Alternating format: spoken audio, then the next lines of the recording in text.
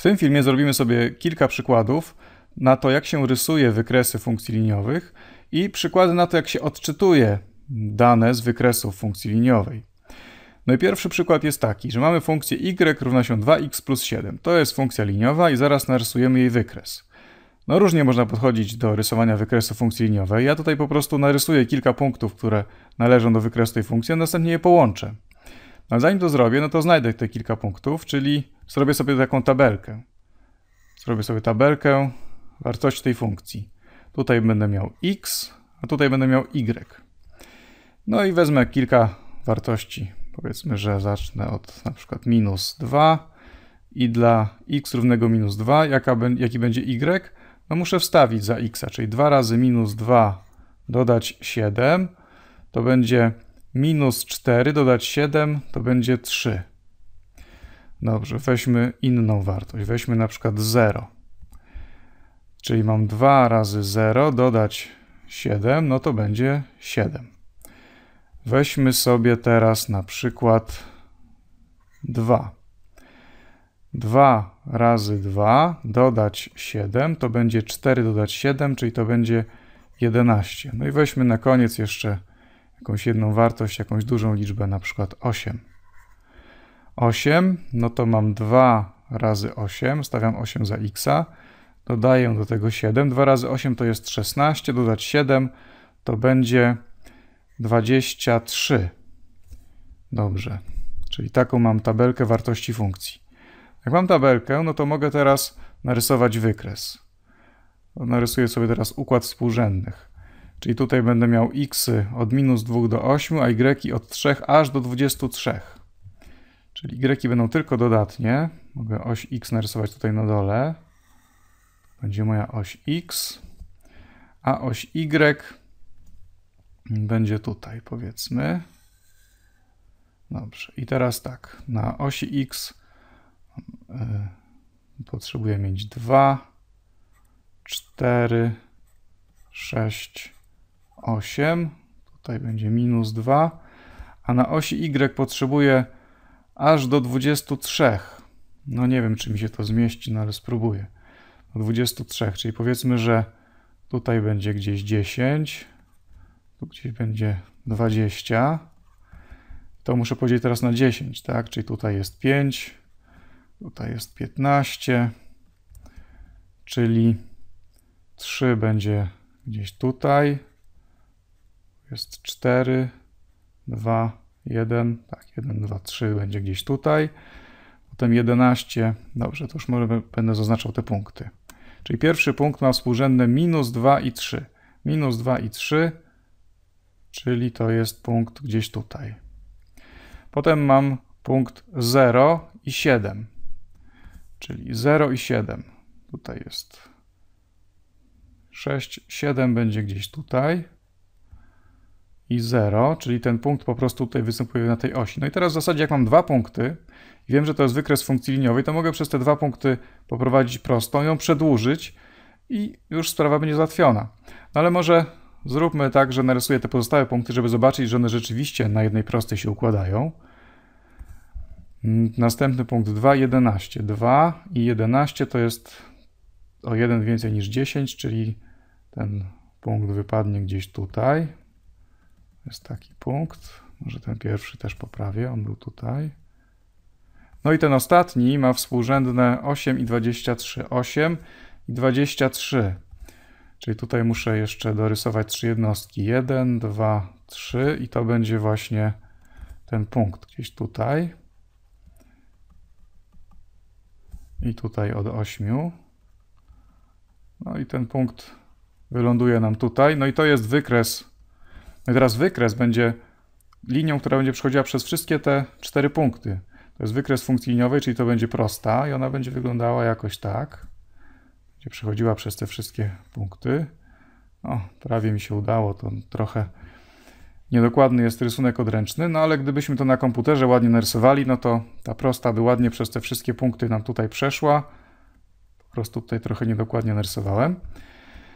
No czyli widzimy, jak rysuje się wykres funkcji liniowej. Tak naprawdę wystarczyłoby jakieś dwa punkty znaleźć na, wykre na wykresie i po prostu przez te dwa punkty przeprowadzić prostą. Ja tutaj zrobiłem troszkę więcej, zrobiłem aż 4, żeby zobaczyć, że one rzeczywiście na prostej się układają. Zróbmy następne zadanie. Zadanie jest takie. W kantorze na lotnisku możesz zamienić dolary na euro. Kantor pobiera opłatę za transakcję w wysokości 5 dolarów, a za każdego następnego dolara dostajesz 0,7 euro. Zrób tabelę wartości i wykres tak określonej funkcji. Użyj wykresu do określenia, ile euro dostaniesz za 50 dolarów.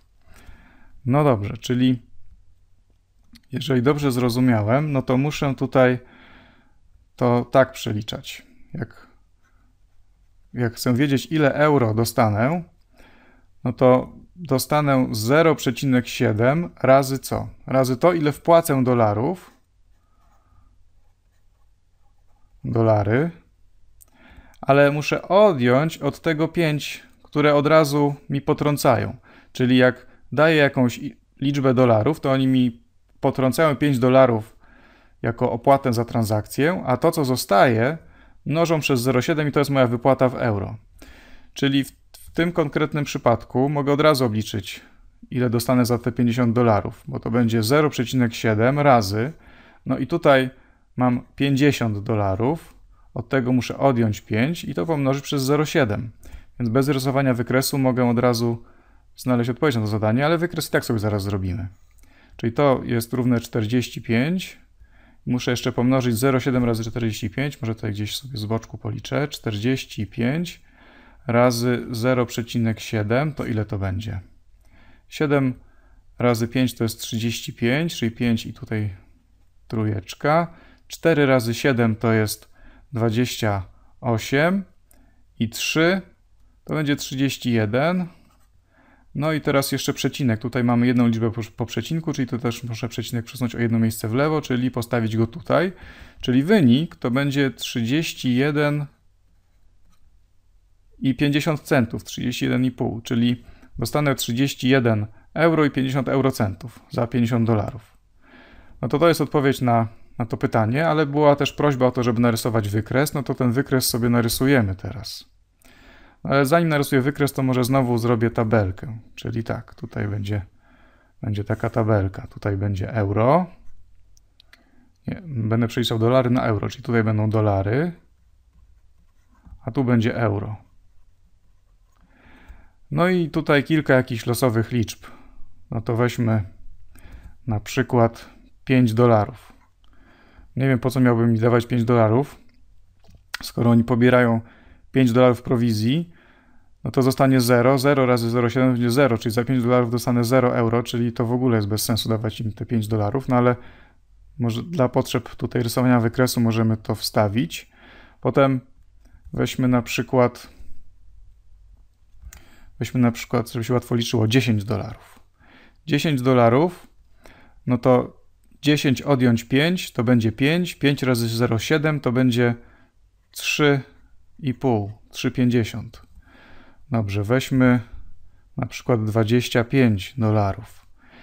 25 dolarów odjąć 5 to będzie 20 dolarów razy 0,7. 20 razy 0,7 to jest 14, czyli za 25 dolarów dostanę 14 euro. No i weźmy jeszcze jedną liczbę. Na przykład weźmy sobie 55 dolarów, znowu żeby się łatwo liczyło. 55 odjąć 5 to będzie 50. 50 razy 0,7 to będzie 35. No to starczy tych punktów. I teraz spróbujemy narysować wykres tutaj. Może sobie to, może ten wykres jakoś się tu zmieścić. Potrzebuję tylko jednej ćwiartki, bo te liczby zawsze są dodatnie. Czyli narysuję tutaj sobie jedną oś, tutaj drugą oś. No i teraz tak, tutaj potrzebuję na poziomej osi od 0 do 55, czyli powiedzmy co 5 będę.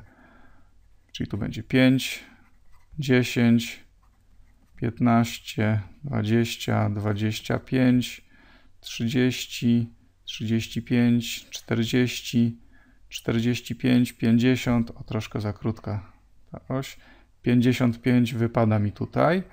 No i na pionowej też co 5. Chyba muszę jeszcze ciaśniej rysować, żeby się zmieściło do 35, czyli powiedzmy tutaj będzie 5, 10, 15, 20, 25, 30, 35. Tutaj było 5, 10 i tak dalej. No i teraz zaznaczymy te punkty. Pierwszy punkt to ma współrzędne 5 dolarów. Tutaj na pionowej osi jest, są, jest euro, tutaj jest euro, a na poziomej są dolary, tu są dolary. Pierwszy punkt, tak jak mówiłem, ma współrzędne 5 i 0, czyli on jest dokładnie tutaj, na osi poziomej. Potem następny punkt, ten granatowy, ma współrzędne 10 i 3,5. 10 i 3,5. 3,5 to jest trochę mniej niż 5. O, to jest tutaj gdzieś ten punkt. Trudno to będzie dokładnie tutaj zaznaczyć, ale powiedzmy, że mniej więcej tutaj. Potem mamy punktów współrzędnych 25 i 14. 25. No i 14 to jest trochę tutaj o jeden mniej niż 15, czyli ten punkt będzie gdzieś tutaj. No i ostatni punkt ma współrzędne 55 i 35. 55, a tutaj mamy 35, więc ten punkt wypada gdzieś tutaj. No i widzimy, że rzeczywiście te punkty mniej więcej układają się na, na takiej prostej, którą teraz tutaj mogę przez te punkty przeprowadzić. O, jakaś taka prosta. Z przybliżeniem wykresu tej, tej funkcji liniowej. No i to jest kolejny przykład funkcji liniowej, która pozwala przeliczyć dolary na euro. Równie dobrze moglibyśmy je użyć do przeliczenia euro na dolary, ale pewnie wtedy pobieraliby prowizję i wtedy byłaby to inna funkcja, bo znowu pobieraliby prowizję, tym razem w euro. No dobrze. No i oczywiście mógłbym teraz z wykresu odczytać odpowiedź na, na pytanie postawione w zadaniu. Po prostu musiałbym znaleźć ten punkt, który odpowiada 50 dolarom. Tu 50 no to mamy tutaj. No i to na wykresie odpowiada temu punktowi. No i to rzeczywiście jest tutaj trochę powyżej 30. No ale ja już obliczyłem, że to jest dokładnie 31,5. No ale mógłbym równie dobrze to odczytać z wykresu, tylko musiałbym ten wykres bardzo dokładnie zrobić. No dobrze, no to zróbmy jeszcze jedno zadanie. Ostatnie zadanie jest takie. Wykres poniżej pokazuje, jak przelicza się wagę w kilogramach na wagę w funtach. Użyj go do wykonania następujących przeliczeń. 4 kg na wagę w funtach, 9 kg na wagę w funtach, 12 funtów na wagę w kilogramach, 7 funtów na wagę w kilogramach. No i tutaj na osi poziomej mamy kilogramy. To nie jest tu napisane, ale powinno być. Tutaj są kilogramy. A na osi pionowej mamy funty. Na osi pionowej mamy funty. No i mamy przeliczyć. 4 kg na wagę w funtach. No to muszę znaleźć tutaj na 4 kg, no to jest tutaj. Muszę zobaczyć, jakiej wadze w funtach to odpowiada. No ten punkt wypada mniej więcej tutaj. No to to wygląda, jakby to było pomiędzy 8 i 10, czyli to wygląda, że to jest mniej więcej około 9 funtów. To jest około 9 funtów około 9 funtów. Następny punkt 9 kg na wagę w funtach. 9 kg, no to 9 kg to jest tutaj. No i muszę zobaczyć, jakiemu to odpowiada punktowi na wykresie. No to jest punkt tutaj i to odpowiada prawie dokładnie 20 funtom. Przynajmniej z taką rozdzielczością, jak jest narysowany ten wykres, to to odpowiada wadze 20 funtów. I odczytałem to tutaj znowu z wykresu tej, tej funkcji. No i teraz mamy przeliczyć w drugą stronę. 12 funtów na wagę w kilogramach. 12 funtów na wagę w kilogramach. No to muszę tutaj znaleźć 12 funtów. 12 funtów to jest tutaj. I teraz muszę zobaczyć, ile to będzie kilogramów. To ten punkt wypada tutaj, trochę poniżej, pomiędzy 5 i 6, ale troszkę bliżej piątki. No, czyli to jest niecałe 5,5. No to napiszę, że to jest mniej więcej 5 pół kg. No i ostatnie przeliczenie 17 funtów na wagę w kilogramach. 17 funtów na wagę w kilogramach, no to muszę znaleźć 17. 17 to jest tutaj w połowie między 16 i 18 funtów. Czyli to jest punkt, który wypada gdzieś tutaj. No to będzie trochę więcej niż 7,5 kg. No to napiszę, to jest mniej więcej w przybliżeniu 7,5 kilograma. No i widzimy, że tym razem postąpiliśmy na odwrót. Mieliśmy wykres funkcji liniowej i z tego wykresu odczytaliśmy, jak się przelicza kilogramy na funty, funty na kilogramy.